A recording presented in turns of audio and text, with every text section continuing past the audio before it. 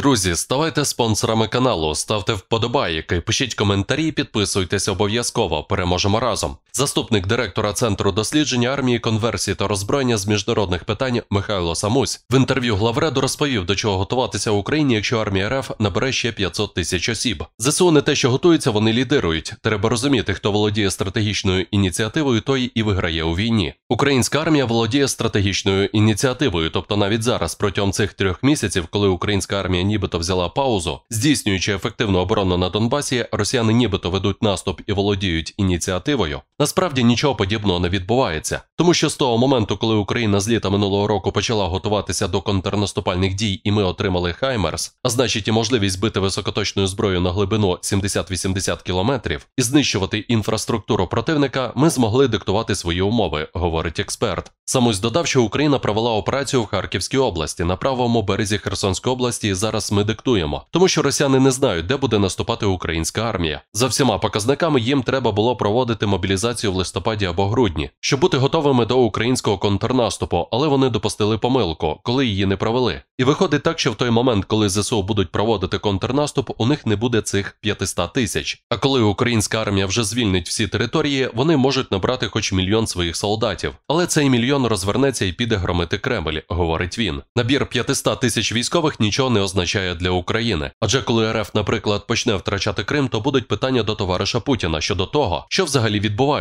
і це створить таку морально-психологічну обстановку і в армії, і серед російського населення олігархів. Не знаю, чим тоді буде займатися Пригожин, тому що тоді він може очолити повстання проти Кремля. Тому що виявиться, що Кремль програв всі битви, говорить експерт. Він додав, що сам факт набору 500 тисяч військових нічого не означає. По-перше, мобілізація повинна проводитися ефективно і вчасно. Якщо вона так не проводиться, то це завдає більше шкоди, ніж користі. Тому мобілізація 500 тисяч осіб в РФ в будь-якому випадку призведе до напруги в російському суспільстві. Хоча в Кремлі можуть в топку кинути ще не один мільйон, їм все одно, тому що вони рятують свої шкури, але вони роблять все це невчасно, тому що чомусь вважали, що поруч ракетних ударів по цивільній інфраструктурі вони зможуть поставити Україну на коліна. А Європа загнеться від високих цін на газ взимку і також приповзе на колінах до Путіна. Скоро квітень ніхто не приповзе, і тут вони скаменулися і вирішили провести мобілізацію, яку треба було проводити замість ракетних обстрілів. Бо якщо росіяни хотіли воювати, їм треба було створювати угруповання в Білорусі і наступати звідти. Але вони цей час прогавили через їх ідіотські ідеї з ракетними ударами по тепло і енергетичній інфраструктурі, додав він. Якщо вони зараз набирають 500 тисяч, вони будуть готові, наприклад, у травні. Що буде в цей момент на фронті, можна лише гадати, але це буде дуже активна фаза боїв. Коли, наприклад, 10 тисяч мобілізованих закидають у якийсь район, а там їх беруть у полон, бо вони не вміють воювати, вони будуть в шоці, по них летить кілька високоточних снарядів. Тому вони будуть розбиті морально і психологічно. Це будуть великі котли мобілізованих. Якщо їх додумаються без техніки відправляти на фронт, а з технікою Росії величезна проблема. Вони намагаються відновлювати старі Т-62. Очевидно, розраховуючи на цих мобілізованих, але це фактично агонія путінського режиму. Тому що коли росіян масово будуть відправляти, вони не будуть хотіти і будуть знати, що там їх просто вбивають і у них немає ніяких шансів, додає Самусь. Все це може призвести до катастрофи на фронті для Росії. Тому не треба боятися тих 500 тисяч. Дійсно, це багато і це напруження на фронті. Але якщо все піде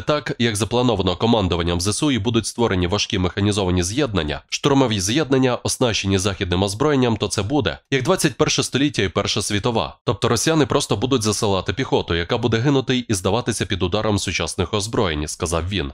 До зустрічі, ставте вподобайки, пишіть коментарі, підписуйтесь на канал. Переможемо разом.